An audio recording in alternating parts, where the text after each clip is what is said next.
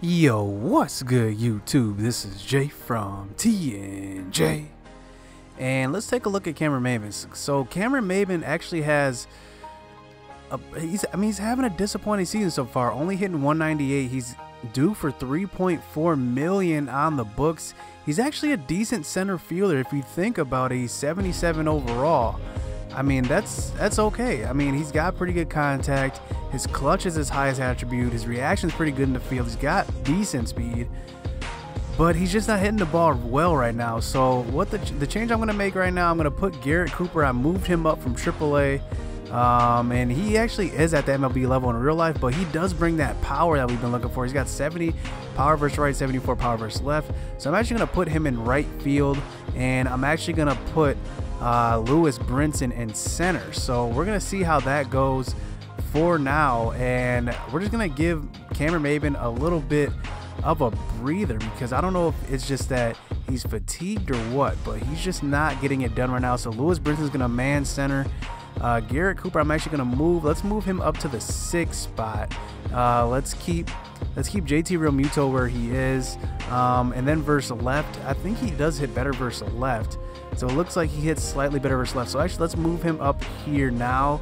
Um, and then Scott Van Slyke, I'm actually I actually have him batting versus left. He hits a little bit better versus left than De Derek Dietrich because Dietrich is a left-handed hitter. So uh, I have him in there. I'm gonna put Garrett Cooper at the 6-0 versus right, and I'll put him at the 6-0 versus left. So I think he's slightly better than Scott Van Slyke hitting versus left. Yeah, so let's keep him right there. Uh, let's just see how that goes for now.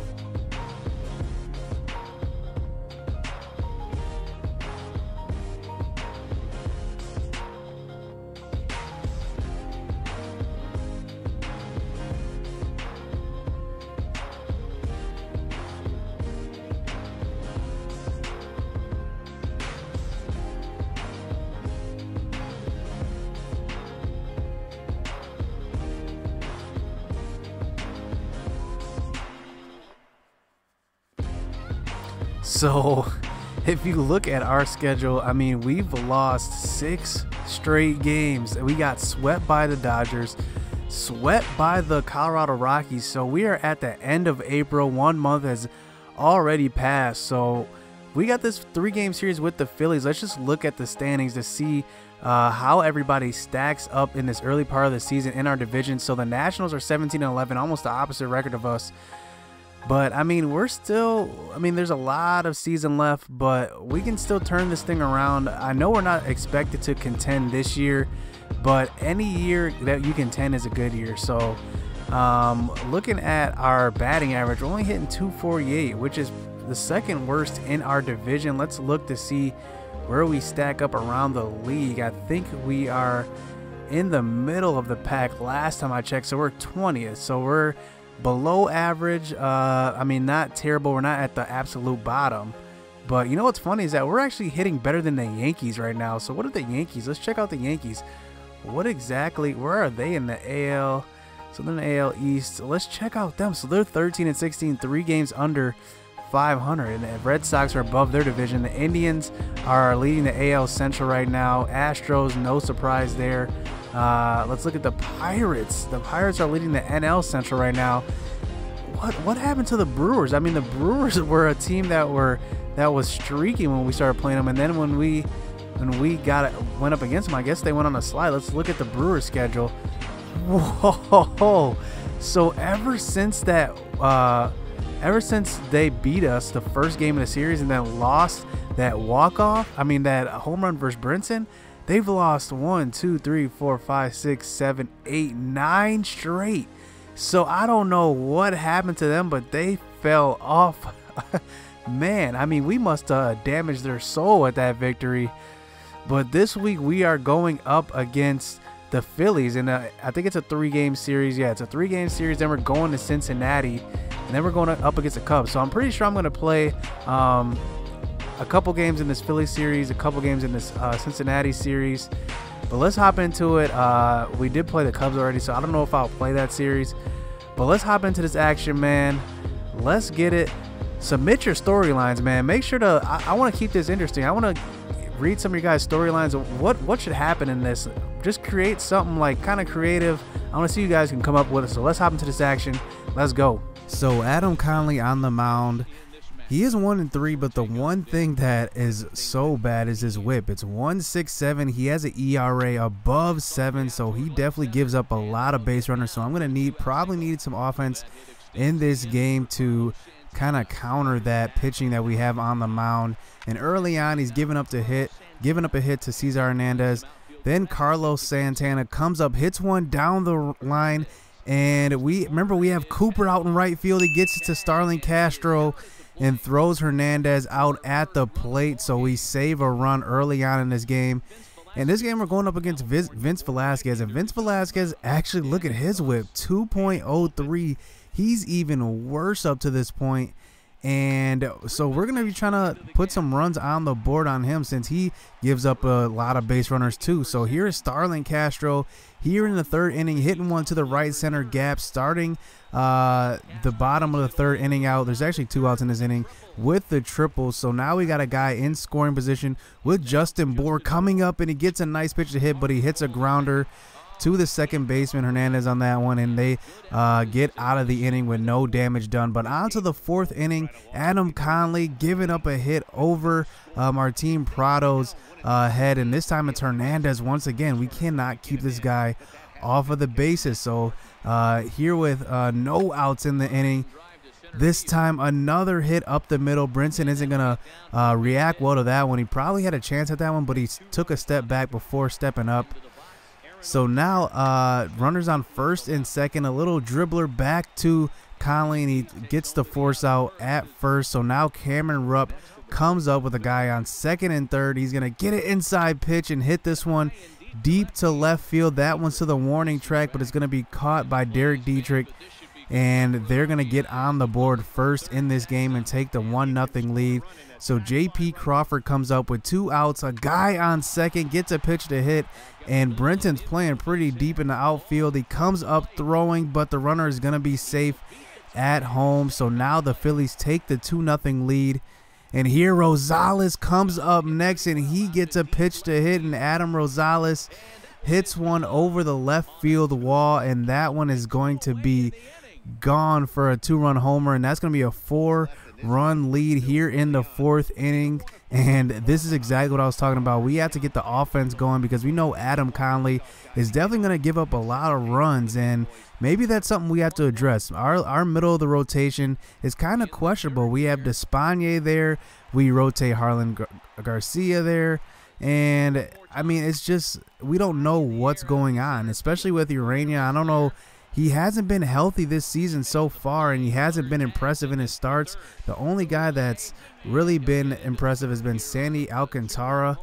And I don't know. I, I, mean, we need to make some moves to bolster this rotation because right now we're, we're not doing so well. But here in the fourth inning, we do get a run in from JT Realmuto. He gets a sacrifice fly from Martin Prado. So now on to the bottom of the sixth inning here. Starlin Castro is going to get on with the walk. Vince Velasquez still in the game up to this point. And here Justin Bour is going to get a pitch right down the middle. He's going to groove that one to the right center gap. That's going to drop in, and Starlin Castro is going to round third, head home, and he's going to slide in safe. So now this four uh, run lead is going to be trimmed down to two. So now they bring in Luis Garcia here uh, to get him out of this jam. And JT Realmuto comes up hits a grounder to third base, holds up Justin Bour. Justin Bour's only got 20 speed, so he's not going anywhere on that one. So now Cooper comes up and he misses there on the slider down in and facing a 3-2 count with two outs. Martin Prado does get walked, so JT Riddle comes up with a chance to be the hero, but he grounds out to shortstop and they are going to get out of this inning. So now uh, Ramos is going to come in late in this game now to the bottom of the eighth inning. Justin Bour is going to get a pitch to hit. He's going to hit this one deep to left center, and that one is going to be gone. And that four run lead is now down to one run off the Justin Bour home run. And we've been looking for him to get going in this season, and finally he's coming through the last couple games he's been kind of warming up because remember the first part of the season, he I think he struggled. I think he started the season out like two for 15, but now he's definitely turned it around. especially showing the power here. So now JT Realmuto comes up next, and he's been doing okay as well, but the right fielder dies for this one and misses it. So JT Realmuto already has an inside the park home run this year. Gets held up at third base, so starts it out after Justin Bour getting on third, and Martin Prado comes up next, who's actually having a really good string of games here with the sacrifice fly to right field and this is going to be a tie game here in the eighth inning and we're going to go on to extra innings but here is Barraclough in to pitch here the 10th inning, and he's going to give up a walk to start out the inning with one out, but we're going to get a ground out to Starlin Castro. So two outs here at the top of the 10th inning. J.P. Crawford's going to hit one up the middle past the glove of J.T. Riddle, and Lewis Brinson is going to come up throwing, but the runner is going to be safe at home. And this inning is still alive. The Phillies take the uh, one run lead. And here Steckenrider comes in to get us out of this inning, but he gives up a hit this time to center field. And that is going to be another run here for the Phillies in extra innings. And we just need to get out of this inning, but we do. We get uh, Herrera to pop out to center field. So now we got to score two runs in this inning just to tie this game up. And here's Pat Neshek coming in to pitch and first facing Cooper, and Cooper gets a hit to the right side over the second baseman's head, Cesar Hernandez, and that's going to be a nice start to this inning. But Martin Prado comes up next, hits a grounder to Franco, and Franco is going to turn the double play 3 6 3, and that's going to be two outs with JT Riddle coming up, and he's going to whiff at the circle changeup on that one and that is going to be a loss for the Marlins in the first game of the series. We actually sim the second game and we get a win, so it's 1-1 going into this final game facing Aaron Nola this time. And look at his whip. It's a 104, so we might have a little bit of difficulty getting hits in this game, but here's JT Realmuto in the second inning getting a walk. And next up, Cooper is finally getting going with the hit to the right side. And now we're going to have runners on the corners with Martin Prado coming up. And he's going to hit one up the middle and drive in the run. And this is what we've been missing runs early on in games. So we take the 1 nothing lead. And here is Jarlin Gonza- Garcia coming up to bat. And he's pitching, but he gets a pitch to hit this time, helping himself out at the plate and the runner is going to come into score and that's going to be a 2 nothing lead here in the third game in the season in the series in the bottom of the second inning. So now on to the top of the fifth inning. This time Jarlin Garcia is going to get into a little bit of trouble this time giving up the double here to Rosales and he's going to round first head to second and it's going to be one out in the inning this time. So here's Vince Velasquez up to bat, and he's going to ground out to Justin Bour, but moving the runner over to third base. So here with two outs, Herrera is going to hit the uh, grounder to the right side, but Starlin Castro is going to be there for the putout. And now we're going to be on to the bottom of the sixth inning with Justin Bour coming up to the plate and he's going to hit one deep once again to the same spot as last game. And that one is going to be over the fence. And he's been going opposite field a lot these last couple games. And this one is going to be no different over the fence for the home run. And this is a rare game for us. I mean, we're doing pretty good pitching, haven't given up any runs and we're actually doing a pretty good job hitting behind the bat of Justin Bour and also Martin Prado. Our veterans are really showing up. And speaking of Martin Prado, here he comes back up to the plate with two outs, and he's going to get on once again. And Martin Prado is actually showing me something. I mean, he's got some trade value because a veteran team might want him, a team that's contending, but I like what he's doing for us. I think I actually might move him up to the two spot because he's doing pretty well. And here he is once again in the bottom of the eighth inning. And he's going to get another hit to the right side. So he's actually doing pretty well. I might keep him at the spot that he's in because I like that he can drive in runs. But my two spot, Derek Dietrich is just not doing anything. Neither is JT Riddle, who's right behind him, a couple spots behind him. JT Riddle is actually pretty disappointing up to this point.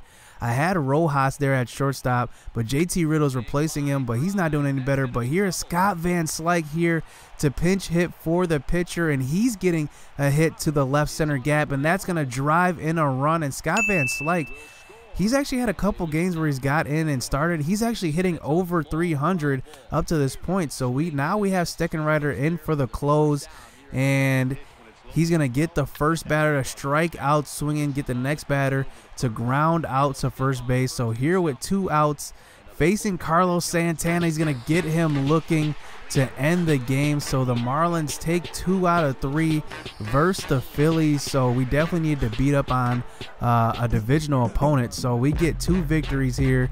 And one thing to note, I mean, Lewis Brinson went 0 for 5. He's kind of been slumping a little bit. He's still hitting over 250. But look at Derek Dietrich, only one for four. I don't like what he's doing up to this point, but he's still at 250 as well. But look at uh, Martin Prado. I mean, he's doing pretty good, hitting 300 on the year. Scott Van Slyke actually hitting 300 as well. And I mean, we just need some offensive production from some of these other guys that need to contribute, like JT Riddle, uh, Garrett Cooper. We need to see what he can do. We don't really know what we're gonna do with that third outfield posi position because I want to put Scott Van Slyke in, but he's just such a defensive liability. His arm strength is low, his fielding is low. But we take two out of three from the Phillies. So hit subscribe, hit that like button, stay tuned. We got a tough part of the schedule coming up, so you don't want to miss that. So let's go.